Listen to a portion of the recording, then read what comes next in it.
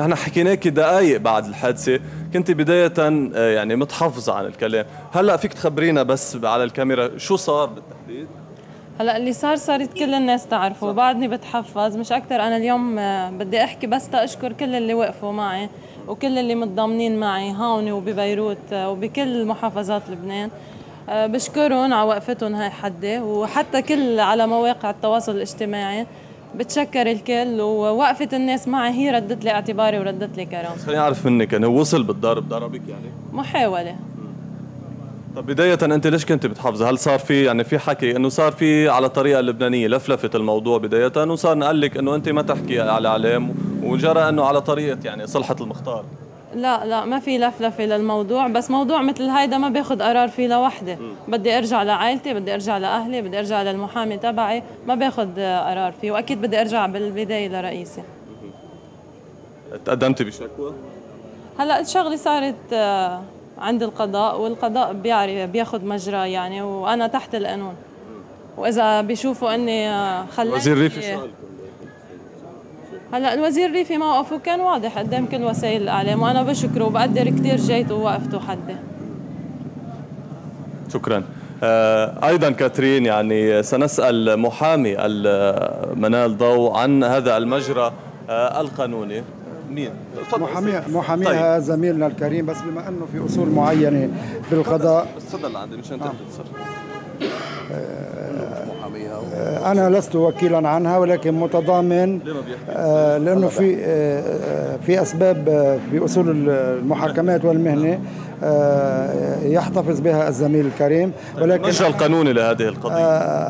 المسألة ليست فقط مجرى قانوني بل بل علاقة حادث محاولة وهو حادث مؤسف جدا أن يحصل في قصور العدل والمؤسف أكثر وأكثر أن تصبح قصور العدل فيها حوادث التباس خطيرة تحط من من قيمة وشرف مهنة المحاماة ومن علاقة المحامي وعلاقة المواطنين في قصور العدل. أعود أعود وأقول إن مثل أي التباس يحصل في قصور العدل قد يؤدي إلى مجازر معنوية وأنا أعتبر أنه نوع من المجازر المعنوية بحق العدالة ما حصل في هذا الالتباس ومحاولة الاعتداء على إحدى الموظفات المؤدبات والمهذبات في قصر العدل. المؤسف أن مجزرة كبرى لم يتحقق بها وهي مجزرة قتل القضاة وإعدامهم واغتيالهم في صيدا. آه، يجب أن يعرف كل الداني والقاسي أن قصور العدل هي حصانة لكل المواطنين ولكل الموظفين ولكل القضاة ولكل المحامين. إنها حرمة يجب عدم تخطيها مهما ارتفع مستوى الشخص المادي والمعنوي والسياسي. خط أحمر قصور العدل ليفهموا. أستاذ أسعد كمان بدي بس أفهم منك بس المجرى القانوني يعني. نحن اليوم نتضامن فقط مع السيدة منال ضوء المعروف تاريخها حافل بالصدق والاستقامة والنزاهة والأدب والاحترام. ونشكر الجميع والقضية في يد القضاء. في شكوى صار لا شك بنزاهة القضاء والقانون فوق كل اعتبار. في شكوى؟ شكرا أكثر من هيك ما فينا نحكي. ما في شكوى؟ يعني أنت منال تقدمتي بشكوى ولا لا؟ طبعا نعم. تفضل الحقيقة باسم الاتحاد الوطني لنقابات العمال وباسم الحركة النقابية اللبنانية كلها سوا.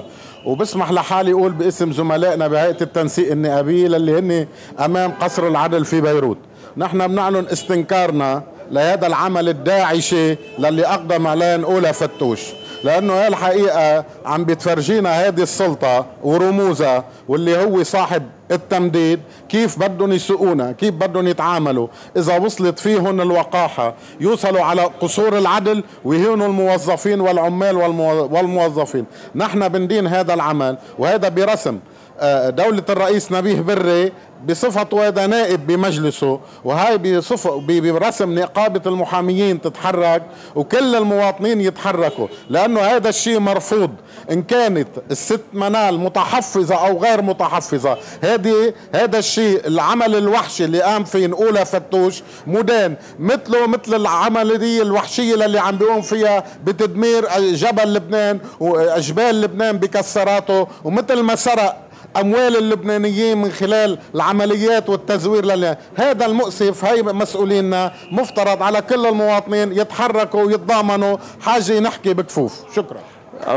أيضا كاترين السيدة بشرى خليل بس أنا اللي بدي أعرفه كمان إنه في هلا الحق العام بيتحرك طوعا بهذه المسألة. إيه طبعا يعني أكيد أكيد بتحرك يعني بالنسبة للحصان اللي إيه. بيتمتع فيها النايب لا ما هو جرم مشهود هيدا. لازم يتقدم ب 24 ساعة عشان.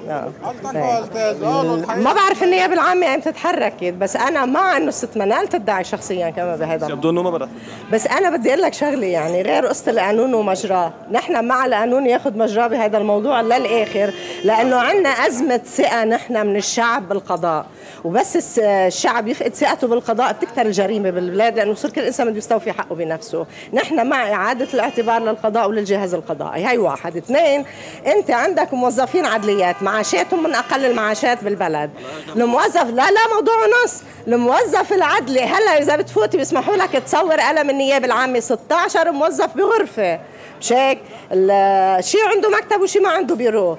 الناس بتبقى فراسهم كل موظف عم يحكي مع أربع خمس فرد وقت. نحن بننطوش لما بنشوف إنه كيف عم بيلحق على كل هاي العالم.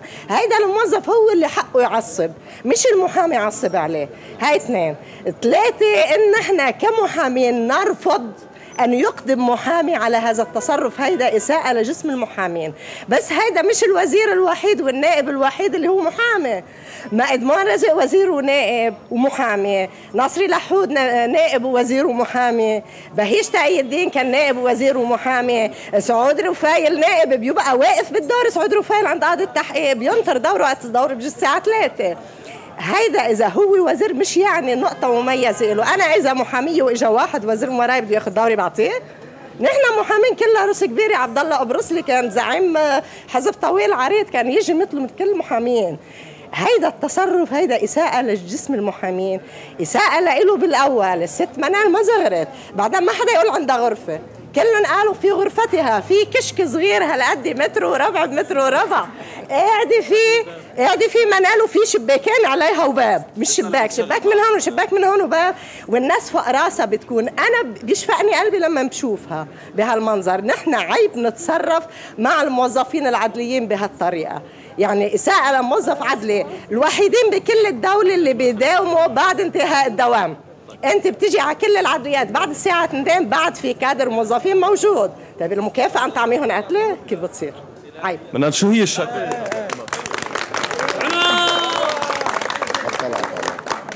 شو هي الشكوى؟ استنى لك الوقت لا لا ما اطلعت عليها ما سجلتها حتى. شكوى انت ليش هذا هو النقطة ما تراعي حدا في كرامتك وكرامتك. إذا كاترين يعني هذه هي الصورة من أمام قصر العدل.